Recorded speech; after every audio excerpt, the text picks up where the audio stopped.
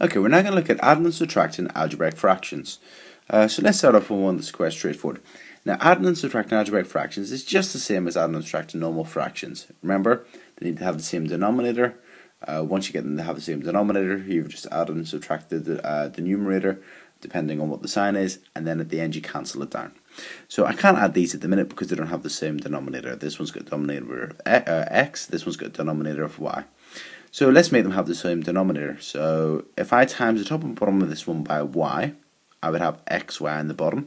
And if I times the top and bottom of this one by x, I would have xy in the bottom of this one as well. So if we make xy the denominator of both. So times the top and bottom of this one by y gives you ay over xy. Times the top and bottom of this one by x will give you uh, wx over xy. As you can see, the two denominators are now the same, so we can then just write the denominator being the same, xy, and then the two top numbers, you just add them together, two top expressions, ay plus wx. And that's it, that can't be factorized or simplified or anything like that, that's your answer, ay plus wx over xy. Okay, we're now going to do another example. Uh, we'll go 3 over x plus 1, take away 4x over x squared minus 1.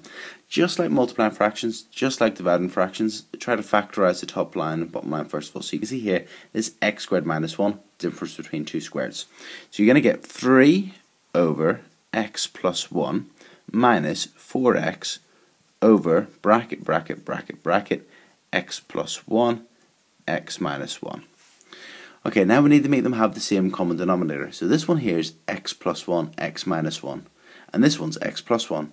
So if I times the top and bottom of this fraction by x minus 1, you're going to have an expression over x plus 1, x minus 1, and another expression over x plus 1, x minus 1, and then we can just work that out. So, times top and bottom of this one by x minus 1, so that they've both got x minus 1 on the bottom. So you're going to get 3 bracket x minus 1 over x plus 1, x minus 1. Notice I'm not expanding this, I'm just leaving it as it is. Okay, And this one, you don't need to do anything to this one because it's already got x plus 1. So it's 4 bracket. It's already got x plus 1, x minus 1 on the denominator. So you can just leave it as x plus 1, x minus 1 on the denominator. Okay, Because we've got the same denominator now, okay, what you can do is just put it all over x plus 1 x minus 1. And you can write on the top line 3 bracket x minus 1 close brackets minus 4x. Now you've got to be careful here, okay?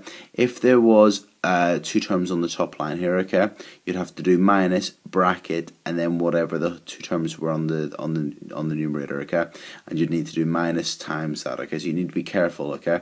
If you had a like a 4x minus 3, you'd have to do minus bracket 4x minus 3, and then whenever you expand your brackets, you get minus 4x plus 3. Okay, so you'd have to be careful there. Now let's uh, multiply out this bracket, so you're going to get uh, 3 bracket, uh, sorry, multiply out the brackets, silly me.